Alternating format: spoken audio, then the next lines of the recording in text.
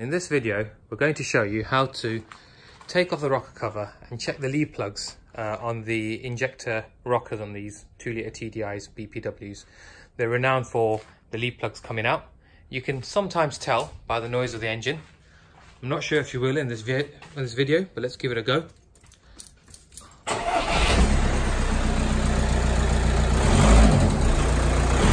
You can hear a second order ticking there in line with the uh, engine RPM.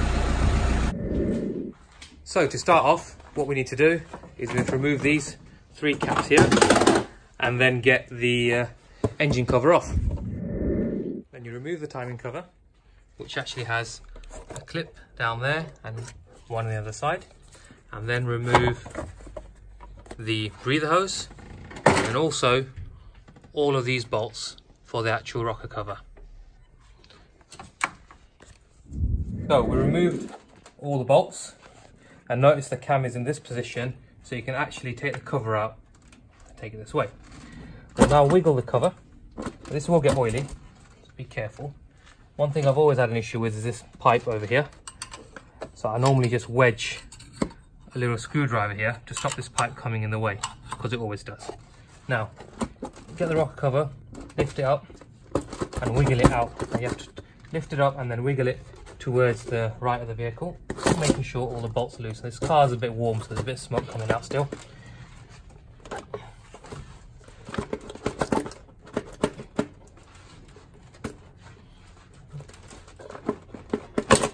Okay, and you can see it's stuck over here.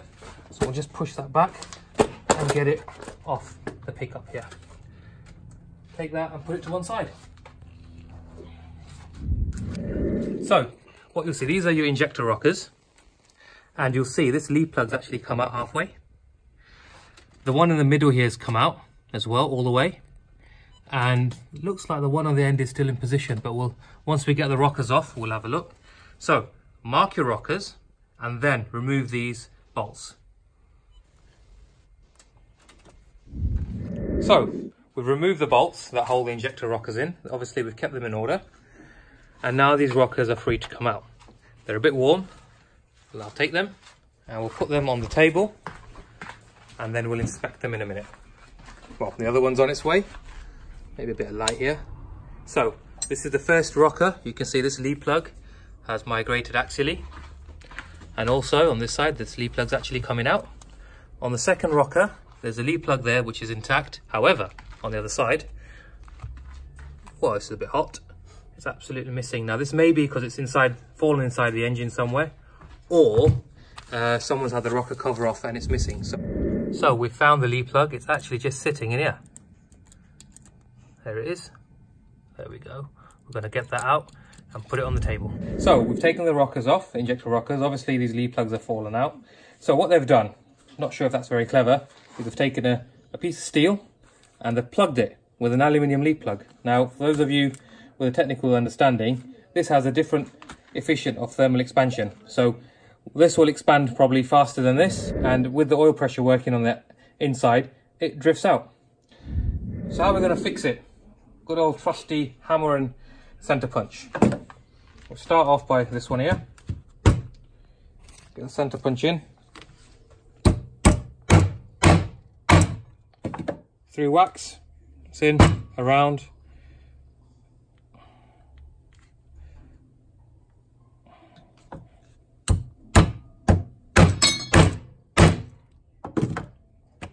hopefully that should hold them in position. One more, side here.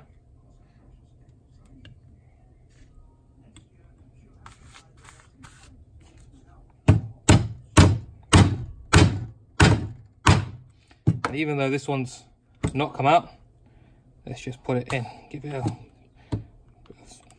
re-secure it. And you can see that actually moved back in again. And now you've oil sprayed over the work counter, you have to wipe that off. What we're doing now is we're inspecting the cam lobes for wear. You can't really see it very well on the video, but there should be a chamfer on all the, the lobes, especially on the genuine cams. You can see it here. Right, that one's actually fine. You'll see a slight bit of wear there, but it's not bad. So you're going to turn the engine over slightly and inspect the cams. I'll turn the engine while my colleague here holds the camera. Don't start the engine, you'll have oil spraying everywhere otherwise. So, just very slowly, like that, and inspect all the cams.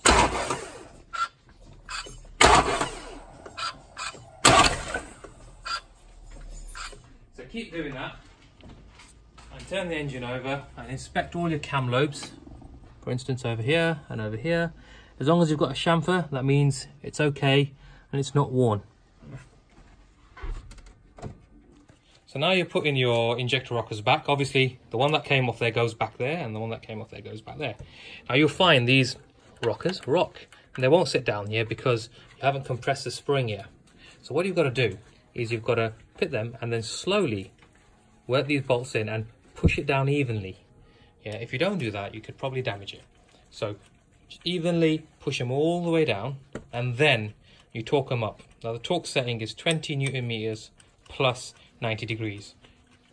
But please don't quote me on that because if you break a bolt, you'll hold me liable.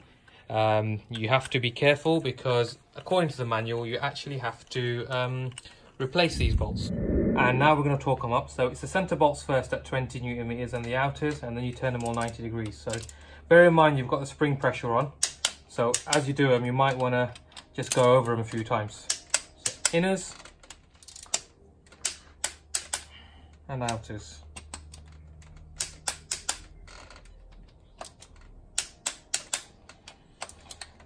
Again, as you've got the spring pressure on, make sure to do them all once and then just go over them again, just in case.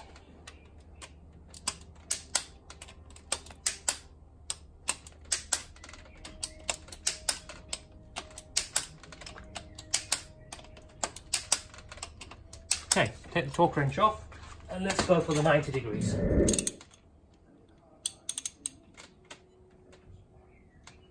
Okay.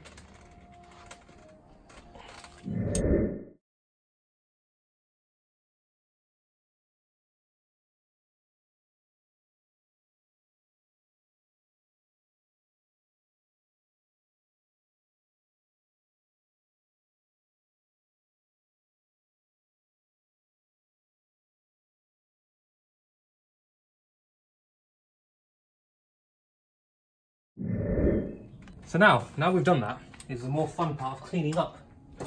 So what you've got to do, I'll take this rag off my associate, is you've got to clean the rocker cover sealing surface and you'll notice there's a little bit of sealant placed in these four corners, one, two, three, four. So put a bit of, clean that up nicely and then put four drops of sealant and then you can start putting your rocker cover back on again. So we've uh, cleaned all this up and we've put a little bit of sealant in the corners where it goes 90. And we've also cleaned up the rocker cover on the sealing surfaces and the, the fun now of putting it back. We've brought the cam to this position because I think that's the easiest way to get it in. Maybe if I turn the rocker cover around, it'll be more easier. There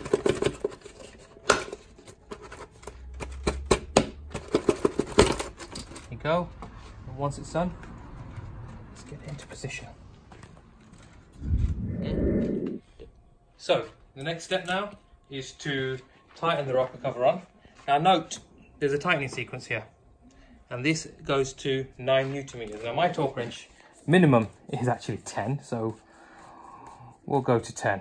Actually, no, it might be 9. Let's see. It actually does 8, this one does. Yeah, it does 8.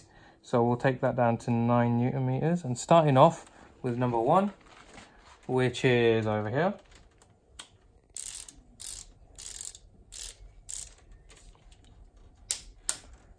And number two on the back. Uh, number three, which is over here. So yeah, refer to the photograph on there and tighten your rock cover back up again. So we've uh, put the rock cover on, obviously you saw that. We've uh, put the, the breather hose on and uh, put the engine cover back on and the timing cover. So we're gonna start the car and it may make a bit of noise, but after the oil pressure builds up, the ticking noise will go away. It's ticking.